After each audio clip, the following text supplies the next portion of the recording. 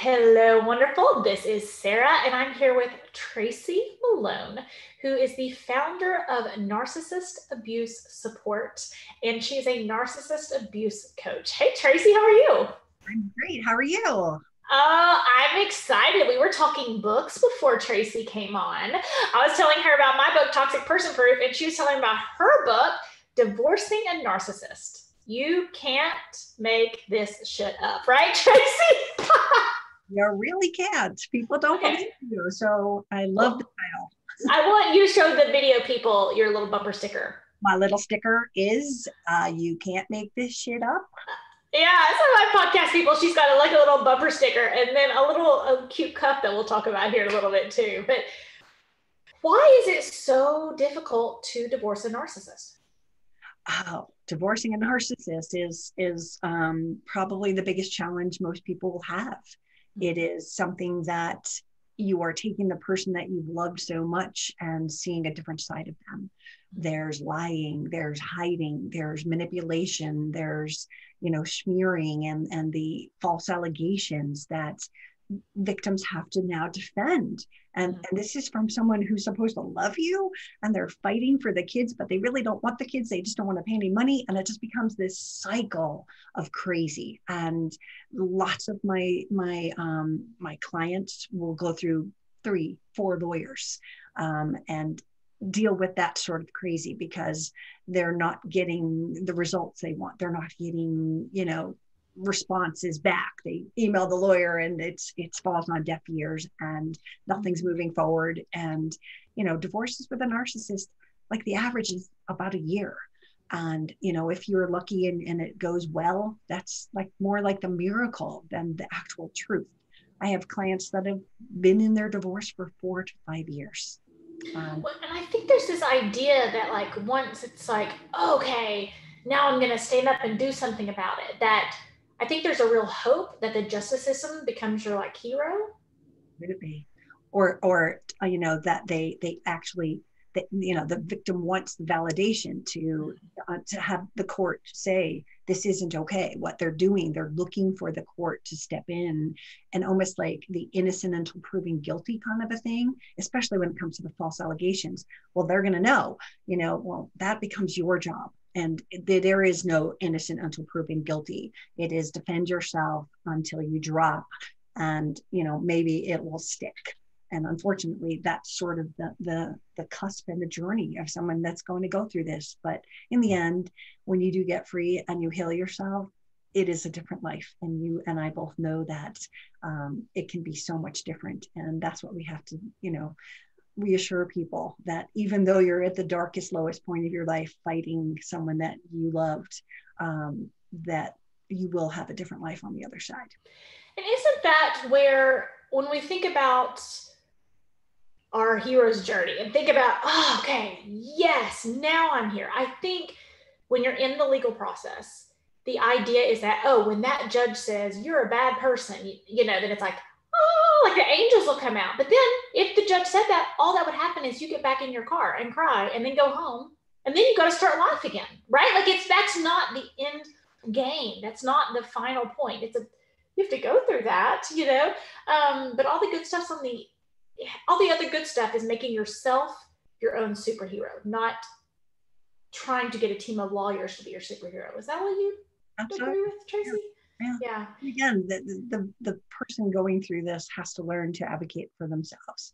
They have to learn to, um, you know, really dig for evidence for every false allegation that you're a bad mother, an alcoholic, a drug addict, and all the other things they throw at you. Bipolar is really popular. Um, when they throw that out, you're you're defending yourself with proof. Hey, I didn't steal any money. Hey, I didn't do this, and here's all the records. You know, instead of taking that on internally to self like you know criticize yourself that hey i'm i'm doing something wrong. What have i done? Did i steal money? How could they interpret that? You you, you go through this whirlwind of confusion when these things get thrown out there. So understanding that your truth is in the paperwork I didn't steal. Here's the money. You prove that I did. Instead of taking it on and, and taking yourself down and going, oh no, they hate me and I don't know what to do and everything's going wrong. put on your big girl pants or big boy pants and really fight and just be like, no, I'm fighting with evidence. Here, I'm a bad mom. Well, here's the record of everything I've done. I take the kids to school. I do this, I do this, I do this.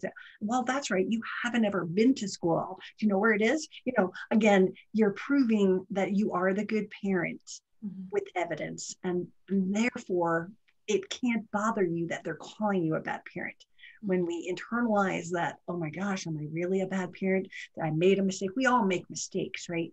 But it's it's learning the controls to not let that um, take you down. Mm-hmm. There's stages of recovery, right? After so that something doesn't come down, um, and that's your that's that's your that's your go-to right now, isn't it? The, the stages of recovery. Tell us about that. So, so I, you know, the way I, I have it mapped out is um, the stages of recovery. We have to go through them, and it's it's not necessarily linear. We can certainly swirl around on the different stages, but I think the first one is is um, you know when we are a victim, mm-hmm. and um, we're you know injured, we're destroyed. You know, we're we're trying to understand what's going on. When you're a victim of a crime, like people know you are a victim of a crime. When you're a victim of abuse, they're like, well, it's because you're a codependent. Oh, you don't have any boundaries. They victim blame us. There's a difference, right? We have to come to the realization that this was something that happened to me and it's not me, it's them. And when you understand that, you can move out of it, right? So when you're you're facing the, the truth about being a victim, like that self-internalized message of I did something wrong, has to be one of the first things that we have to learn to let go of. Um, and we also have to learn when we're the victim about the different types of abusers, right? Lots of people don't have any clue when you're really in the, the, the deer in the headlights and learning about this. Um, what's a covert narcissist? What's the difference? Like, I have people that say, mine never got angry, mine didn't cheat, so I must not be with someone like that.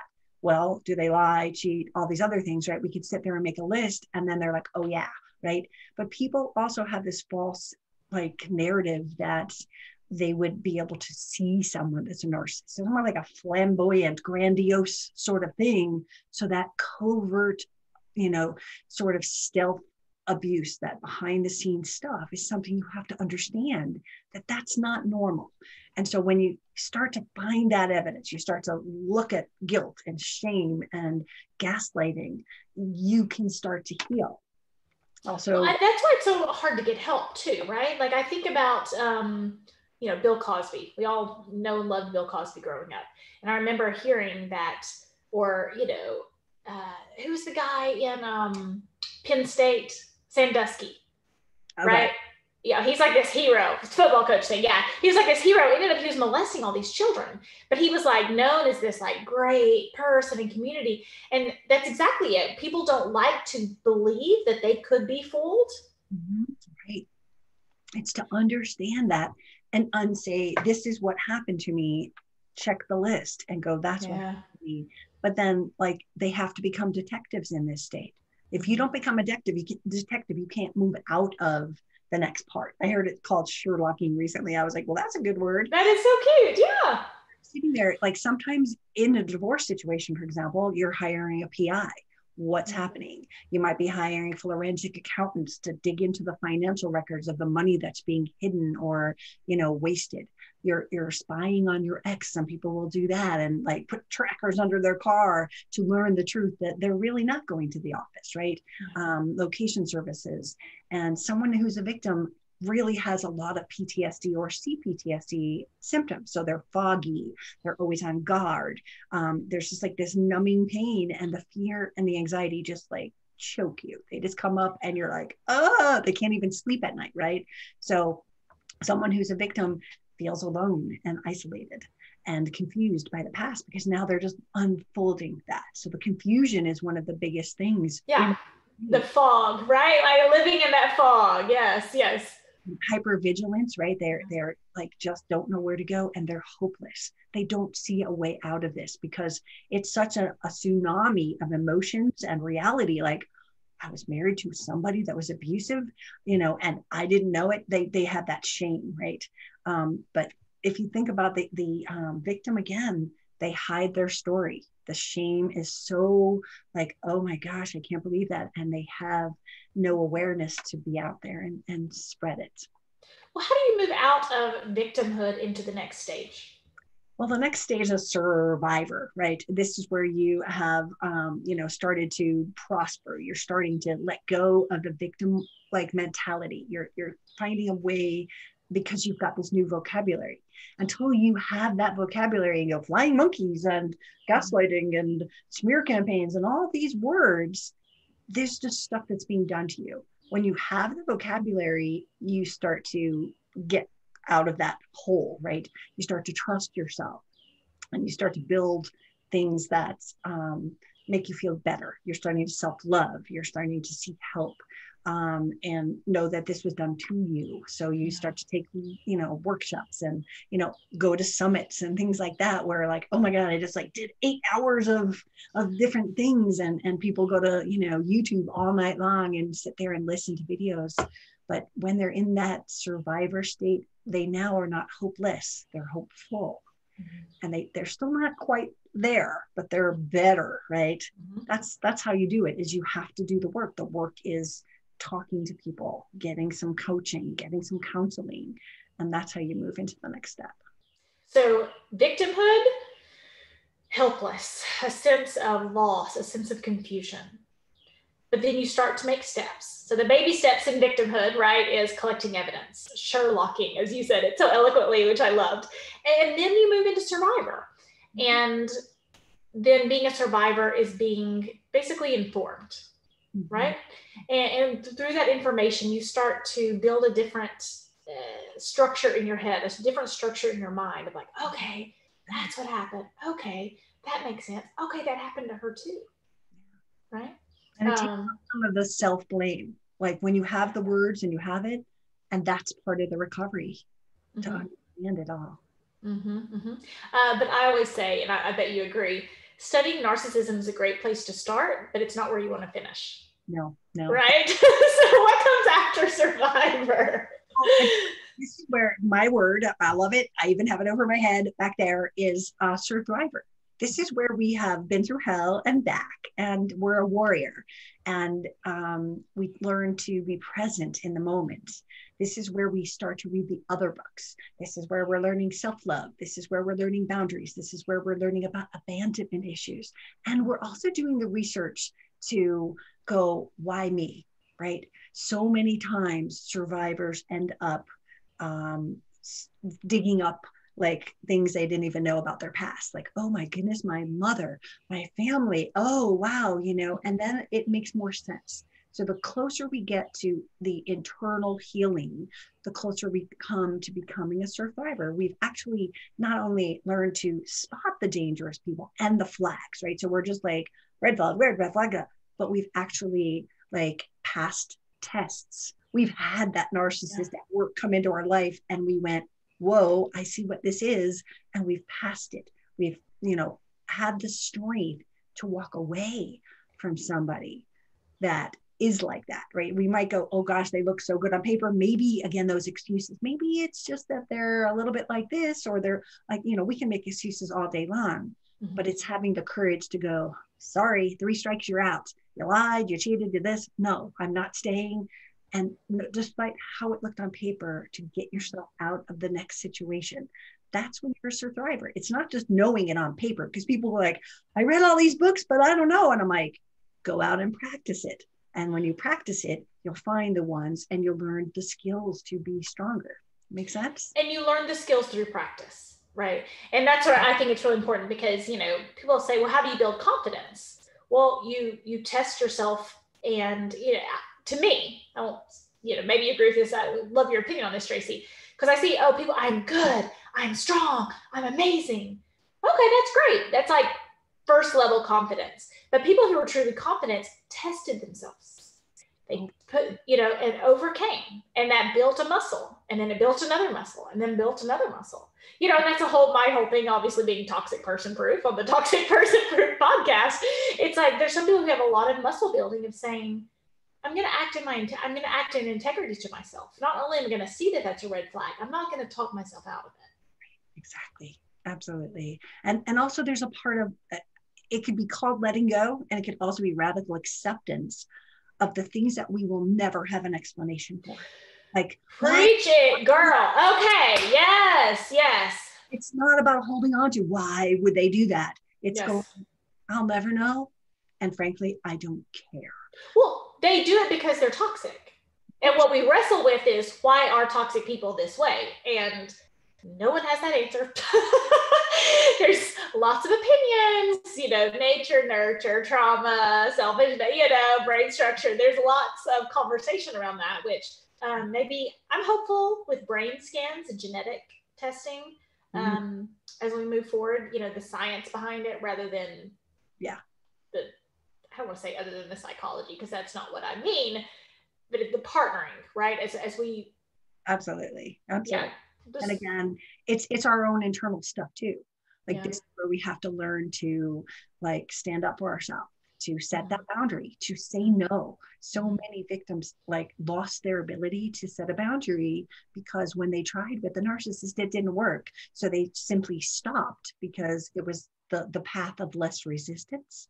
It was i won't walk on eggshells. If i stand up for myself like it's going to be a shitty weekend right? So they just stop. And i i tell people to hold on to the boundary as always setting it because when you stop setting it they win. Regardless of their success of setting that boundary don't stop trying because when you stop trying they know they have you. So just keep on trying to do that. So I have a story about boundaries. Uh, by the three little pig stories, I, love, you know, it goes along with what you're saying. And it's like there are three little pigs. Like one had hay boundaries or straw, you know, straw boundaries. The next little pig had stick boundaries, and the next little pig had brick boundaries. But none of them changed the big bad wolf. Mhm. right? He just kept blowing. He just kept because I, I do think that's an important conversation because I, I too often I hear, well, the purpose of boundaries is to change their behavior. Mhm. And often it doesn't. We wish it did, right? But toxic people don't change their behavior. no but it's it's about the rules for someone to be in your life this is not okay that you just treated me that way that's setting a boundary regardless of their changing their behavior as you said right it's well, the, the brick boundaries keep the wolf out, Mhm. right? And and thinking about keeping the wolf out, not working on boundaries to hope the wolf turns into a bunny rabbit. that's right? Yeah. that's what people do, right? And that's why I heard, oh, you know, I know my the guy I'm with is this, but I'm just going to counseling and work on my boundaries, and it's like, oh no, what do you think that's going to do? You know, I mean, it is important work, right? Again, I think it's important to know if within the spectrum of toxic behavior, little bitty baby toxic, maybe that will be really helpful. Big bad wolf toxic, the wolf, the boundaries there to protect you, Absolutely. not to change wolves. Yeah. Absolutely, absolutely. Mm-hmm. I want to say one more thing about the the survivor person is is when they're in that state, the darkness, the fog, right? Yeah, sure. They're just not walking around in a space zone, and they Yeah. find gratitude for everything. Like in those earlier states, you can't even like, what am I grateful for? No, I, I you- you're just searching for your old life, but gratitude for everything and oneness. So hopeless, hopeful, and oneness is where you want to Hmm. be. You want to be where I am here in the life and I'm living in the present. And um, if you really look at everything that happened, you can actually find lessons in what it was. I needed to learn. I didn't know about abusive people. I needed to learn boundaries. I needed self love. Um, I needed to practice self love, not just have a post it on my mirror, but say, I'm not staying. This isn't okay.